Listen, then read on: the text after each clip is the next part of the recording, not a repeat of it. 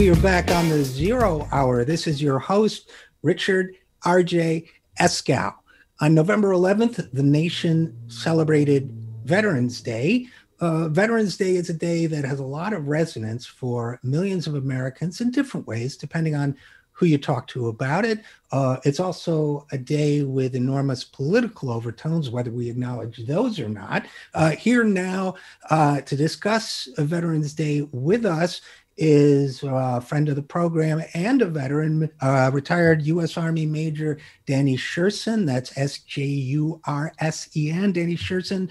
He is, again, retired major, military strategist, contributing editor at antiwar.com, senior fellow of the Center for International Policy, and director of the new Eisenhower Media Network. As a writer, his work has been published all over the place, and his book is Ghost Riders of Baghdad, Ghost Riders, just to be clear, of Baghdad, Soldiers, Civilians, and the Myth of the Surge. His other book is Patriotic Dissent, America in the Age of Endless War. So, uh, first of all, Danny Sjursen, thanks for coming back on the program. Oh, thanks for having me. Always glad to do it. Well, always glad to have you. And you did what? The three tours of duty in the Middle East. Is that right? Um, uh, I yeah, I had done just two. I had done a long surge tour in Iraq, and then was they liked me so much that they asked me to come for the the the reprise tour, uh, surge in Afghanistan. So I did both of those. That's that's uh, that's tour two. Um, the uh, so okay. Uh, what do you? Uh, I mean, you're you you're a vet, you're a military strategist, you're a, you're a writer, you're a thoughtful guy. What goes through your head when you hear all the tributes on Veterans Day, when Veterans Day is commemorated? You know, I think that just the way that a lot of civilians feel like they have to tread lightly in a post draft, right, where we don't have conscription uh, nobody wants to step on themselves. And so everyone feels like they have to say that they support the troops no matter what. And caveat, even any sort of political statements with that. I think that there's a, a similar uh, phenomenon for veterans. So for me, I, I don't want to, you know, say, oh, don't thank me for my service or that dishonors me because right. I've been critical of American foreign policy. However, I do sort of think that we've gone to this, you know, fetishization a, a cult of things, a, a, cult of militarization. And uh, I get very frustrated with the surface level thanks, the surface level militarization culturally. You know, Veterans Day becoming uh, a political pawn, right? Making the soldiers into political pawns for whichever side, right? right? This isn't just a one sided thing, although it tends to be a little more toxic on the militarist side. And that isn't always from the right, but often is. So yeah, I, I think that uh, one of the things we have to reject as veterans, is, we all like positive reinforcement, but when it becomes a militarization of society, when only soldiers, only the army, only the military is a respected public institution by the majority of Americans for like decades now. Uh, we, I think we have to reject that as veterans and have a little bit of truth and reconciliation about what we really did and what we really are. I think that's very well said, and and I was thinking about this also when I watched uh, Joe Biden's uh, acceptance speech Saturday night. And I've seen this with him. I don't know if he always does this, but he ends by saying, Thank you and God bless the troops. And, you know, I have mixed feelings about it. I mean, I, I respect, you know, everyone who's putting their lives on the line. I, res- I do respect that, regardless of my feelings about our military uh, structure, our military interventions, our military empire. Uh, I do. But on the other hand, it seems to me, of all people, Joe Biden's wife is a teacher. Teachers are putting their lives on the line. Nurses and doctors and and attend- hospital attendants are putting their lives on the line. First line workers, delivery people, mail people are putting their lives on the line. And I, I, I did, didn't really, I wasn't 100% comfortable with it. Do you know what I'm saying? Well, it doesn't sit well with me. And this is this is not a forever thing. It's easy to forget that this is relatively new. You know, for example, I'm just old enough to remember a time when really this, you know, troops on the 50 yard line, constant adulation was limited to really three days of the year, right? Veterans Day, Memorial Day, maybe Independence Day. Uh, that seemed more than enough actually. I think that's fine. Uh, but this sort of verbal tic, this obligatory tic that we see of, I mean, it is a strange thing in a republic, in an ostensible democracy, when it, it becomes mandatory for presidential candidates to not, not only just have the lapel pin of the flag, but to actually end every speech with, you know, God bless our troops. And like you said, uh, that that that feels a little grotesque when you consider the fact that even if you have respect for people in uniform, and most of my best friends are former military guys at this point, uh, even if you do have that respect, uh, I think that as veterans we have to say, wait a second, we have to be the ones to put the brakes on it and say, there are nurses, there are social workers.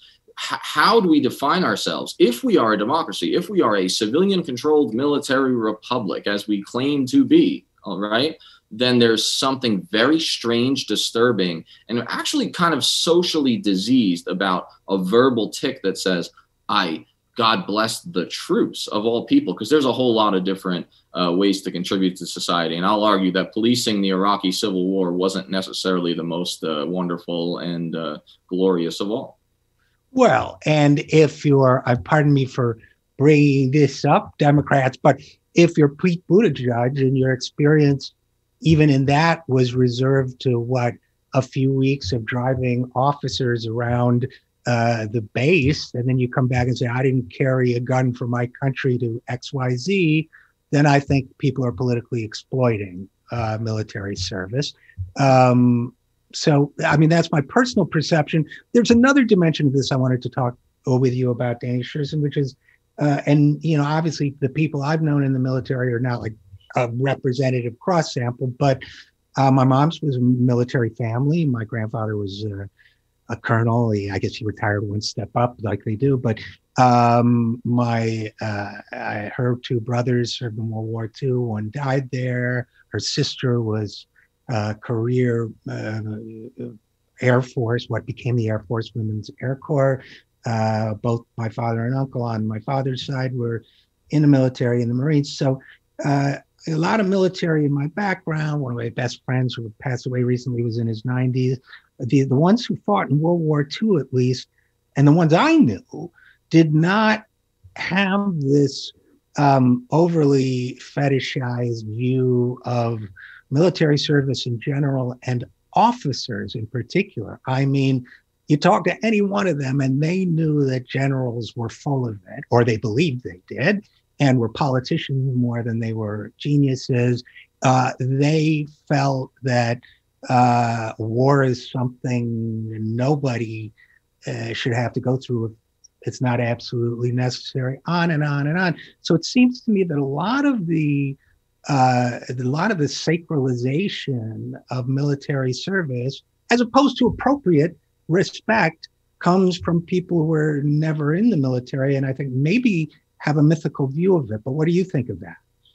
Well, you know, I think that the uh, there are some soldiers who are guilty of it, who allow themselves or or actually purposely use themselves as pawns, right? Use their service as some sort of badge to jump to the next level. And I think Pete Buttigieg is a perfect example of that, right? I, I have a lot of issues with him and the way he's used his service. However, the problem I think when you compare the generations, and this isn't everybody in the military, is it's enough though. When you tell people they're heroes and that they're better somehow than everybody else, if you imply that over and over again for two decades, they're going to start to believe it.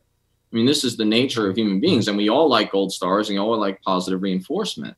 And so I, I think this is really dangerous, and it does set up this civil military divide, especially when we no longer have citizen soldiers that are representative. We no longer have a draft, as flawed as the old draft was.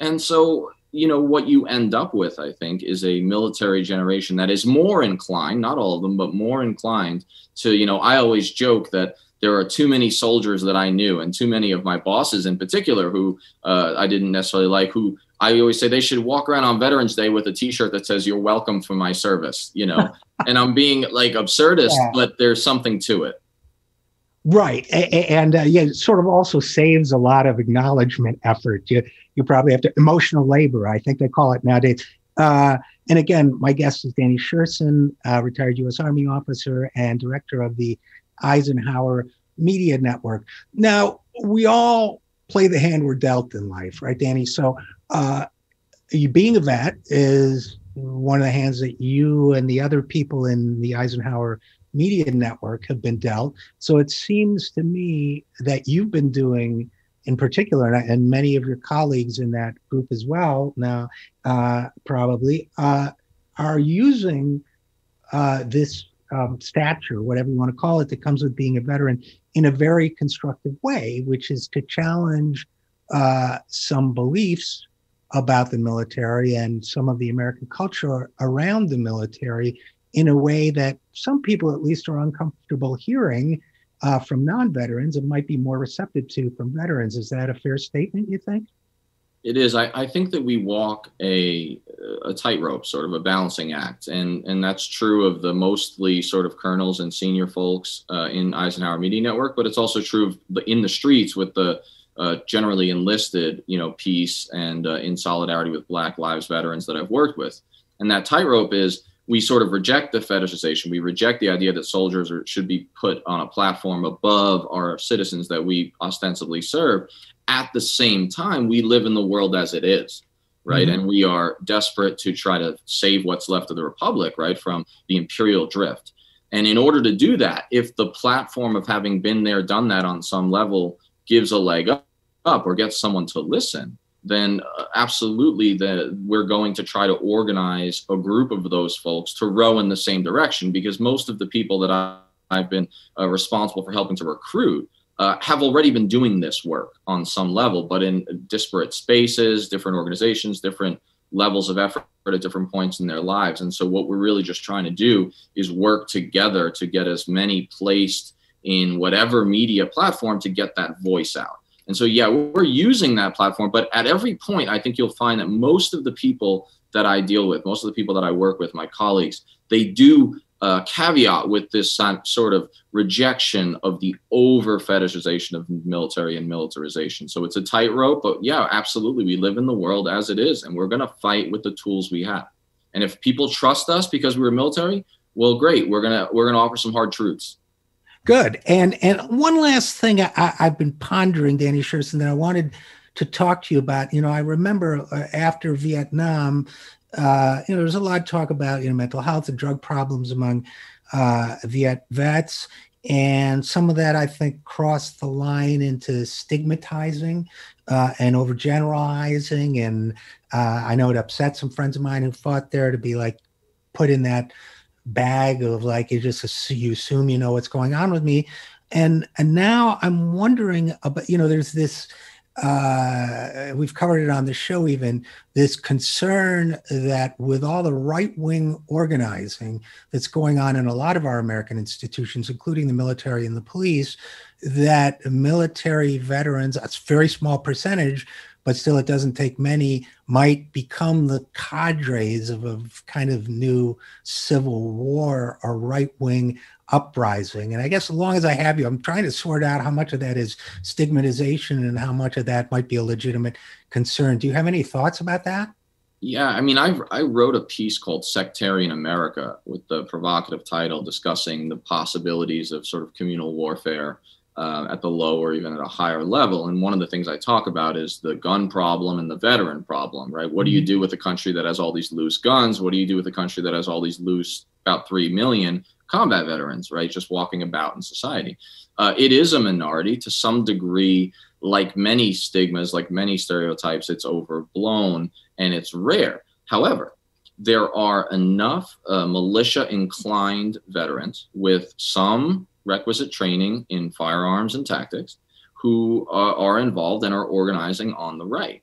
This is a real thing. And, and even outside of just the military component, we have to, again, deal with reality. And the reality is uncomfortable if you are a progressive activist. And I'm not calling for us to arm and have a revolution, but I am saying that in the case of violence, it just so happens that there is a wild disparity between who has the guns right. and who has the training and that that worries me and which is why i often joke about my first you know dystopian novel being about a, a veteran who looks vaguely like me uh, organizing in a college town right a liberal college town and, and trying to explain to my non-veteran recruits that you can't charge a machine gun nest in skinny jeans and it's meant to be a joke but it gets right. to this idea that there's a disparity Yeah, no, I think there is a, uh, you know, thanks for that perspective. And it seems to me that a few thousand well trained individuals even could cause widespread chaos and disorder. Maybe I'm wrong. But. No, I mean just very briefly. I mean the the old even on the left or whatever the old anarchism propaganda of the deed. The idea was that a small act, right, one large act, even few of them could have major uh, you know effects. And again on the left, the Bolsheviks showed that a vanguard can have an effect. When it comes to violence, a vocal, an active minority can have enormous amounts of uh, nefarious intent and effect. And our country's rel- um, relative inexperience with domestic violence of that kind, as opposed to many other countries in the world, uh, I would think renders us especially vulnerable as a society to the impact of it. Um, but back to, I guess, in conclusion, Danny Sjursen, back to Veterans Day. So, if you had one message for uh, a progressive radio and television audience about Veterans Day and about honoring veterans, what would it be? Well, you know, I would question the title Veterans Day and think back a little bit to Armistice Day. And what hmm. I mean by that is, you know, Veterans Day, its forebearer, its genesis was Armistice Day, celebrating or at least commemorating the end of the most ludicrous mechanistic killing in human history, which should have made nationalism obsolete. 9 million soldiers by a low estimate killed. The guns fall silent on the 11th of November, 11th minute of the 11th hour, the 11th day, the 11th month. And there was a hope and an aspiration and also a cautionary tale to it. The idea that never again was the cry. And so I think that if I had a message, it would be uh, to, to take a radical act this Veterans Day and future Veterans Day. And that radical act is to say the word and to broach the sentiment of peace. Nobody even talks about peace anymore as though it's an impossibility. And I think that that radical act, which shouldn't be radical at all, that uh, is not naive. It's actually the most rational thing because collective organizing for peace and cooperation, whether it's on nuclear policy or climate change, is actually the only way to avoid the existential crisis of extinction. So be an idealist. I mean, it's rare you hear that. Be an idealist and say the word peace and dream with me and each other because if we don't, then the the practical cozy dog move is the one that comes to grief, to uh, paraphrase a great anti-war novel. Well, ain't nothing I'm going to say that's going to top that, Danny Sjursen. So uh, we're going to wrap it there. Again, my guest, Danny Sjursen. Check out his writing, S J U R S E N, uh, as well as uh, both his uh, short pieces as well as his books. Uh, as always, Danny, thanks for your great insights and thanks for coming on the program. Thanks for having me. Glad to do it. And we'll be right back after this. I'm Richard R.J. Eskow, and this is the Zero Hour.